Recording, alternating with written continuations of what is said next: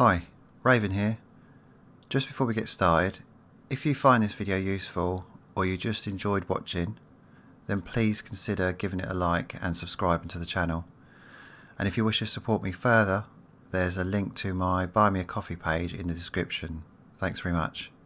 Now back to it. This video is going to cover how to create and use compositions.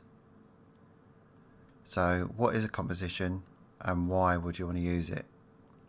So basically a composition is anything that you place down and spend time customizing. So why would you want to use it? Well, it just saves you placing and customizing that thing every single time. So where are they located? So if we go up to F2 up here, you see at the end here it says custom. So that's where they're located once you've created them. So you see I've got a few there. So I've got a couple of guys, so I've customized this guy here. So if I drop him down, you can see that if you place a guy down, he doesn't look like that. So it just saves me having to create this guy every single time. So what I'll do is I'll just quickly show you. Let's go to camp, um, table, chair. Say you want to um, set up a camp.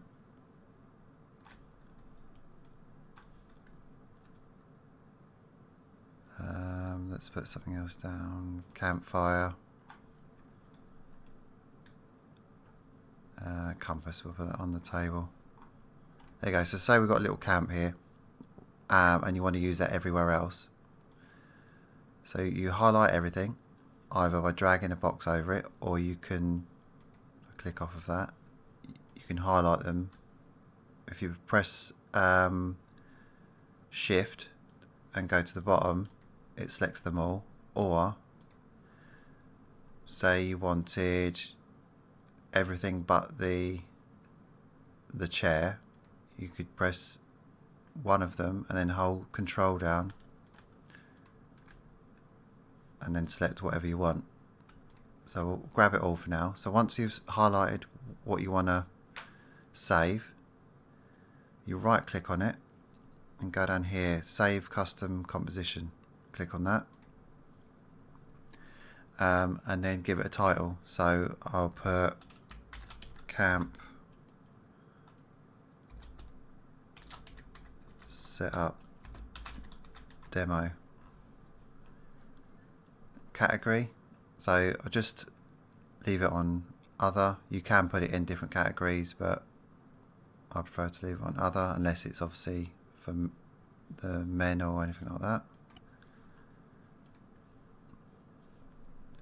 So now if we close that you can see here we've got a camp so if I just grab that and we can rotate it while it's still all selected. And we can um, place that anywhere we want.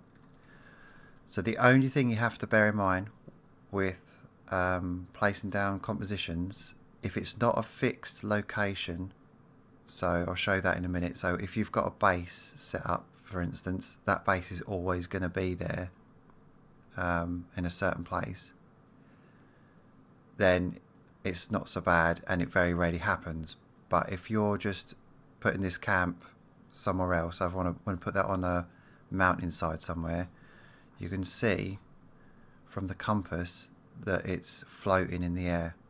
So that's the only thing you need to check and that's only the elevation that will change. Everything else will stay the same but some things might change uh, elevation. So all you do is highlight it, hold alt down and then you just drag it until it snaps the table.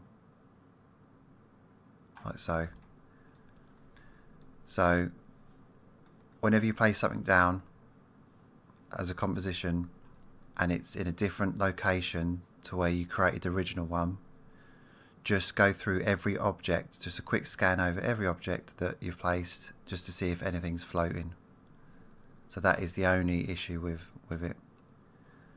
Um, so what we're going to do now is I'll show you a fixed composition. So now we're in the Takistan map.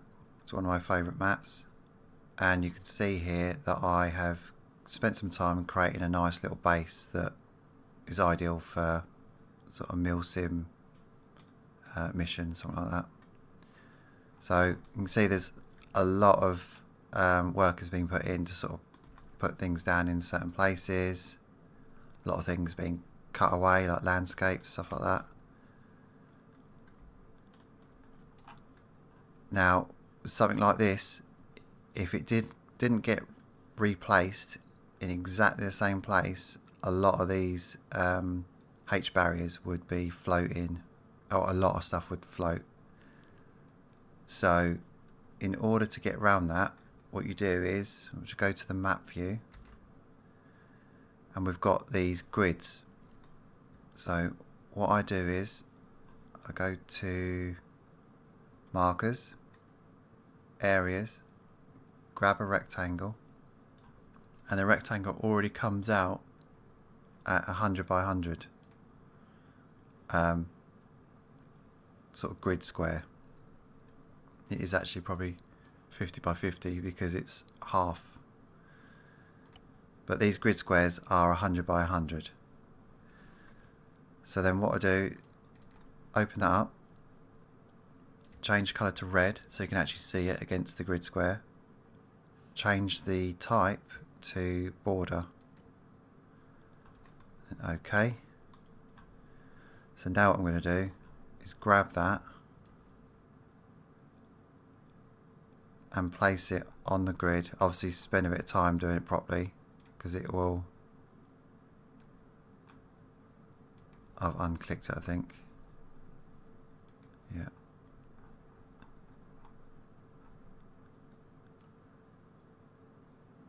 So make sure that it's exactly lined on the grid square, like so.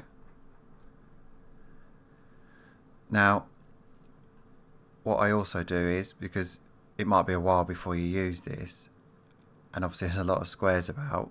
Now, this is kind of obvious because you can tell that it wants to be, this sort of bit here wants to be either side of that road, as does this entrance want to be on the other either side of that road. So you can you can kind of tell that that square that I've got there it wants to be there. But just as a reminder, I put a little grid location. So I know that that corner needs to go at 084020. Um, and again, that is just go to icons and I think I used standard drawn arrow. So I put that there, on that corner. So that corner is 086 020. So in the text box 086 020 and again I'll change the colour to red so it's obvious. So then when I grab everything so grab it all. I'll include this little mark here and then save that as the composition. So when we place it down, I don't have to worry about aligning this perfectly. I just align that box perfectly and it will place this. So I'll show you. Okay, so we're in Takistan map and there's nothing placed down. We'll go to our compositions, Takistan base, and we'll just drag it over roughly where we want it. So we'll find our grid coordinates. So I believe it's that one there. Yep, 0, 020. So basically that corner needs to go in that corner while it's still all highlighted. So make sure you don't press, make sure you don't click off of it. If you do, don't worry about it you just highlight it all again. So let's just move it a bit closer.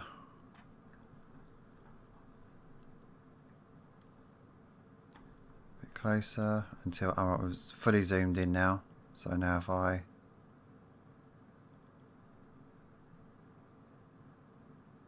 does take a sec to um, align it. There you go. So that's perfectly aligned. I can now click off of it it's all settled. And now I can just get rid of my markers. So get rid of that. Get rid of that. And let's have a look. See if anything's actually moved. So let's just have a quick fly around. All the H barriers seem to be in place. Nothing floating. Sometimes if you don't get it right, these sandbags nearly always float if you don't um, get them in a fixed place. There you go, it's perfect fit. Nothing's floating. Okay. So, um, lastly, obviously we've got this camp set, set up demo. We want to delete that. So I'll show you where that is located. So it's located in your documents Arma 3 folder. So where your missions folder is, is one above it compositions. So if we click into that, and we've got this camp setup demo. So if you delete that, and then come out, so next time you go in, the obviously it's still there because we've not come out of the editor, but next time you go into the editor, that will be gone then. Okay, I hope that was helpful. Good luck.